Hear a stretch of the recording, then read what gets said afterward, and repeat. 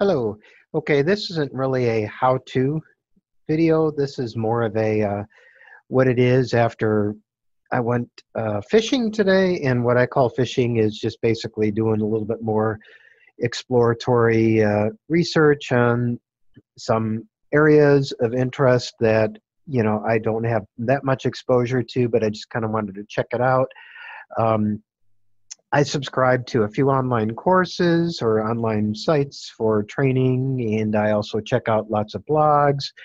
Um, I just recently took a, uh, a lab exercise on Linux Academy, um, things of that nature, and I wanted to kind of uh, take a look and see what AWS step functions were all about and why we would use them and things of that nature. Um, I do know at the workplace, um, you know where I work, uh, AWS is is used heavily, um, and certain areas I'm not very much involved with and all that. But um, I attend a lot of the show and tell sessions, and uh, recently, in the past week or so, there was a presentation done on step functions, and without giving away any proprietary secrets and such like that. Um, the company is using step functions to provision certain, shall we say, things, if you will, when uh, people sign up for services within the company. So that's really about all I can say um, without giving away too much in the way of secrets. But um, they use step functions and kind of explaining, and although not really going into tremendous amounts of detail, um, step functions are basically another service within AWS and as you can see, I got one here, so I was just kind of playing around um, through a course. But step functions are kind of like a workflow. They're like a state machine. Um, if you're familiar with Windows workflow, you can kind of think of it that way. Um, I have a, an example of a step function right here called reminder. And if you click on that, um, you can see an execution path although that may not really tell you much at this point, the definition part itself does.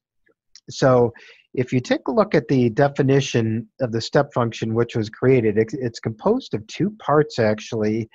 Um, actually, it's uh, you've got the visual designer right here, or the visual, shall we say, GUI, and then you have a JSON file, which defines uh, tasks that can be run sequentially or you can define a group of tasks that run in parallel. And so without um, you know really going into again too too much detail this particular step function right here starts here so it's kind of like a state machine where you have a start point um, this this particular workflow is going to go ahead and send a message um, to a destination uh, either one of three ways. It's going to send a message via email, or it's going to send a message via text using uh, the SNS uh, notification service, simple notification service. And by the way, the email reminder is going to use the SES, which is a simple email service, or it'll send it to both of them in parallel, which you can see right here. So there's three different paths of execution and it's based on how you choose to run it. So let me kind of go into a little bit more detail on you know what that is and what it's comprised of per se. Um, let me just go right here back to where we were. Go to the definition, close this out, get a little bit more room. So you can also do it this way or you can do the split screen thing right here. So again, what you're looking here in the JSON, and the JSON is what you would actually define uh, for the state machine. You can almost think of it as a cloud formation template uh, such that it accepts incoming parameters, but unlike uh, code for infrastructure, this actually is kind of like code for workflow. So as you can see, right here, we've got a uh, start at, and these are kind of reserved uh, for its step, step function right here. So we actually want to start at the send reminder state. it, uh, right here. So you've got the send reminder state, and this is also reserved. So you're going to have an array of states, and you're going to have each entry in the array is going to be a state unto itself. So if you look right here, we've got the send reminder. We also have the choice state, which it progresses to. As you look here in the send reminder, we are actually waiting for a number of seconds. This is actually coming in as a parameter. And after it waits for, this is a type, which is a reserved word as well. And a choice is a type of dropdown um, with select choices, if you will. Um, so if you wait for n number of seconds, and after the n number of seconds elapse, you go to the choice state, which is right here. And then what we do in the choice state is we do an examination of the preference parameter. And so where I'm getting with this is I can kind of uh, show you a static website from the uh, online training course, basically. Um, and as you can see right here, um, here's our choices right here. So we've got both email and SMS, and then we also have a, um, you know, our email and our and our phone number right there. So what we've got going on here is, let's go back to the step function. Um, those get passed in as parameters. So getting back here again, if you click email, the choice preference variable is going to be set to email and what it's going to do is it's going to go to the email reminder if it's sms it's going to go to the text reminder which is what we've got right here with sms and then if it's both it's going to go ahead and do both, which is both reminders, which is an array right here. It's like kind of like an array of substates. So let's take a look at each of the steps. So when we do the email reminder, we've got a task that's going to be executing. And by the way, the task itself that's being executed is a Lambda function that is written. So if we go to, let's go to our Lambda right here uh, go to our Lambda service. So we've got a couple going on here. We've got an SMS one, we've got an email one. So let's take a look at this. So basically, we've got our email one right here, which has code, and yes, that's uh, my email reminder right there. There's uh, it's going to SES. Um, and then, of course, we've got another Lambda function, which is sending out uh, an SMS notification using the um, using the Boto Python 3 library to send out a text. So one second here as I try to show you that. Let's go back to our Lambda. There's our SMS function.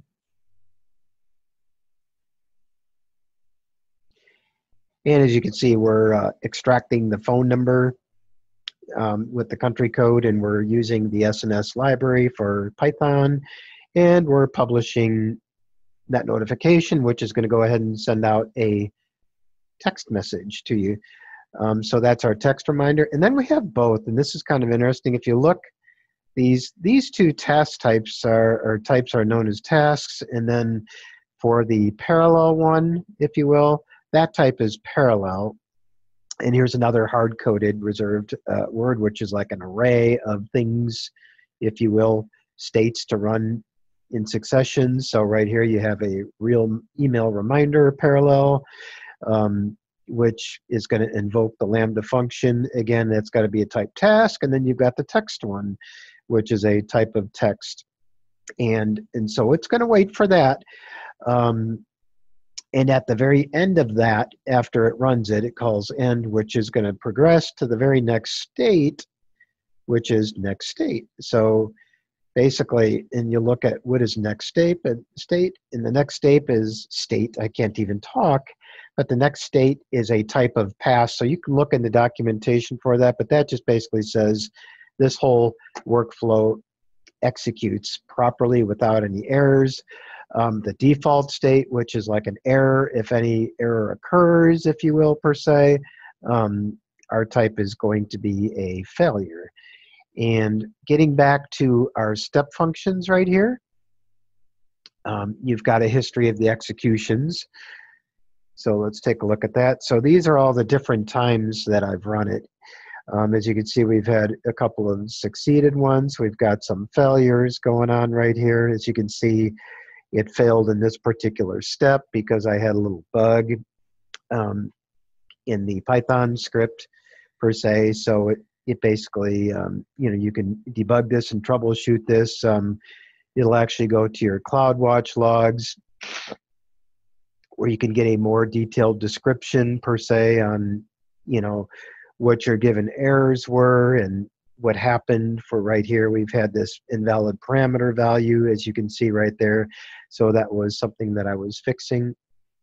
But what what also makes this very interesting, and so this is a state machine, you might be uh, wondering, yes, you can go ahead and run this manually um, just by clicking on this per se, and you can start the execution on that and you can actually insert your JSON block here, which would be your parameters. Now, one of the ways to actually test that is um, by opening up Postman, as you can see right here. So here's the endpoint, and so you're asking yourself, what is that? Um, and I can about to show you that in a second right here.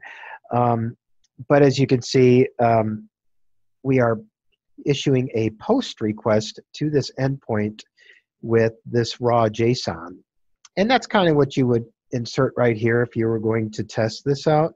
So, and where this also gets interesting is you would create an API gateway like in production per se. So here's the actual endpoint itself right here that we are calling. So you can call this endpoint from anywhere. It's just a, a REST endpoint with these arguments.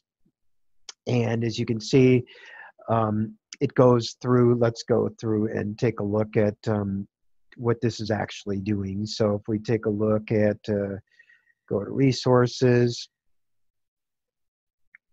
go to our post for the API gateway. As you can see, here's the endpoint. Notice right here, so the arguments are coming in through here and it's actually invoking a Lambda in this case for this given step function. And notice right here we are calling API handler. Um, and this API handler is a Lambda function which has a lot of uh, goodness right here. So here's our um, here's our uh, step function ARN and so this step function ARN is basically a reminder, this one right here. What we are doing from this API gateway when you call that REST endpoint through Postman or through any automated process, it goes through this whole flow and it's going to call this API handler, Lambda function, which is that Perl function, and then it takes the results, the output of that, and it sends it back. But that function itself, if we go there, is this one right here. So it's using the step functions, Boto3, which is a Python library client, and it's extracting goodness from the uh, JSON. If you can see right here, we've got wait seconds, message, preference. And if you take a look at that, that's coming from the input body, which is being passed in. Um, and at the very end, it is invoking the step function itself through the uh, through the lambda. And it's done right here. So this given lambda function is basically pulling out the step functions API and it is executing.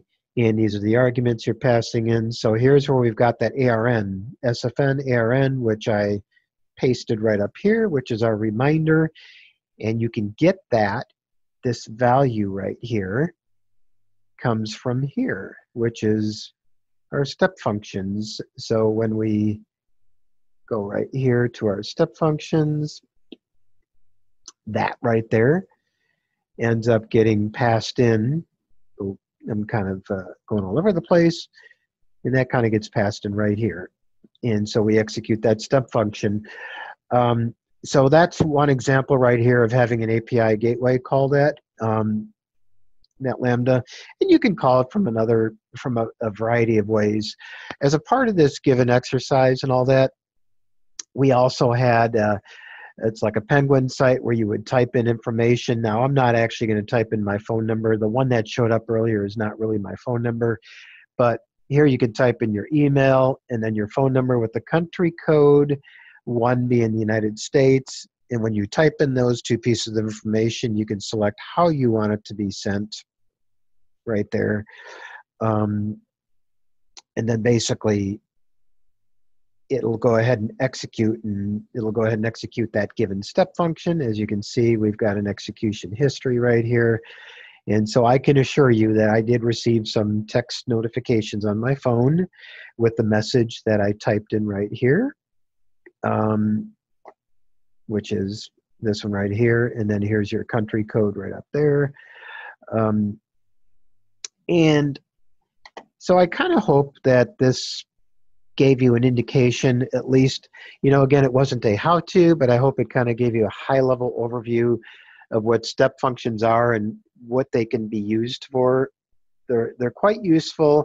And just kind of think of step functions as like a workflow where you have a JSON input which has reserved words of types, tasks. You have to put it in this order, and you can call various um, resources. One thing that's kind of cool right here is if I do an edit, so let me do an edit on this one.